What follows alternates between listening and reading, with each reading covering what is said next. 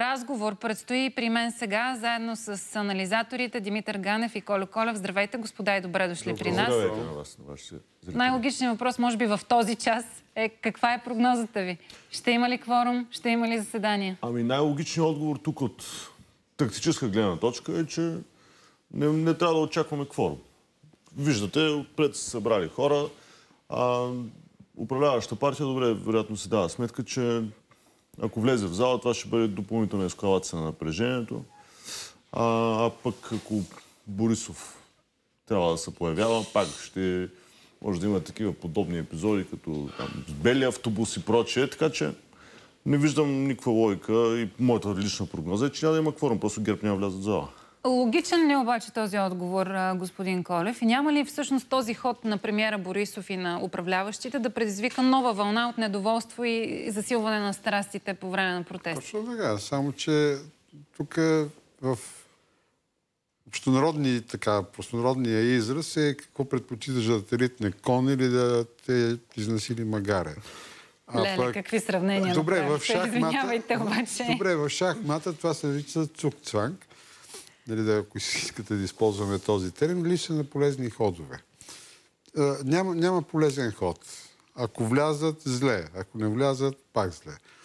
А, ще повиши ли напрежението? Да, и в един и в другия случай. Пори проста причина, че духът вече е изпуснат от бутилката. А, и от тук нататък наистина не виждам полезни ходове. А, управляващите се опитват по един или друг начин да удължат своето време, да печелят още време.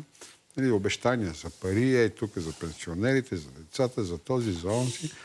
Но мисля, че вече е късно за такива ходове. Не мисля, че това ще снижи напрежение. Има ли връщане назад, господин Ганев? И изпуснат ли е наистина духа от бутилката?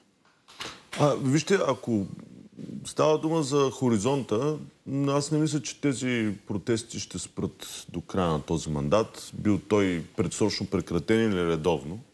А, в този смисъл, ако говорим за изпуснат духа от бутилката, да, не мисля, че това нещо ще свърши изведнъж и всички ще заживеем както или властта ще, ще спре да бъде под а, някакъв тип поличен натиск. Сега, тук нататък вече въпрос е в какво ще се превърнат тези протести, защото те самите имат динамика от, от самото си начало. 2013 година, летните протести имам предвид на 2013 година, ако спомняте, в един момент се трансформираха и се превърнаха в нещо като фоново събитие, което а, просто някакси свикнахме, че в 7-8 часа вечерта определен брой хора, не много тогава, вече в има, прави, се разхожда по жълтите павета. В интерес на истината, протестите от тази година, като че ли са си взели урок от 13-та година. Защото вижте, че непрекъснато се опитват да правят нещо ново, да изненадват, а, в някакви моменти да радикализират. Разбира се, с риск това да им навлече и негатив, но въпреки това да не остават фоново събитие. Дали ще успеят да задържат тази динамика, това вече е много трудно да се каже, защото и самия протест вече като че ли има а, две глави. А, имам предвид, а, вече се виждат и вътрешни конфликти, имам предвид едната глава Демократична България, другата глава от Ровното трио, където ако, ако, ако, ако наблюдавате внимателно, вече имат и различни локации тези две глави. Имам предвид едната е на Орлов мост, Демократична България, където там имат много по-силно влияние те и другото от Ровното трио, което е пред президентството. Ще говорим за протестите, ще говорим за процесите, през които минават тези протести, всички събития, които и ние отразихме по време на тях. Премьера Борисов обаче заговори за едни важни решения от своя джип по време на една инспекция и каза, тук до 2-3 дни ще обявя едни важни решения, които ще успокоят хората. Не, Кои според вас са тези е, решения? А, цитирайте точно. Той каза тежки решения. Тежки, да. И тук е любопитен въпрос, тежки за кой? За кого ще бъдат тежки? Не защото може за едните да бъдат тежки, за Борисов леки или обратното. А, но разбира се, това пак е същата игра, тупане на топката и бавене. Каква е целта на занятието? Целта на занятието е да се спечелят един-два месеца, така че, примерно, да стане, да се приближи прекалено много, да се снижи границата между редовните или изваредни избори предсрочни. В смисъл, когато вече има един-два месеца разлика, тогава като че ли изчезва необходимостта и от предсрочни избори. Кажете, е, чайте сега, един месец остана, сега точно в този момент да и правим. А, те ясно си дават сметка, нали, че въпросът не е, далеч не е в а, нещо друго. е... Очаквате ли вие оставка? Така да ви попитам директно. Тези тежки решения според вас визуализират ли една оставка или не? Или друго има предвид премиера?